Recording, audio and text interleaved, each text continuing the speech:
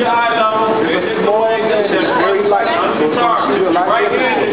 I want your left eye to be closed.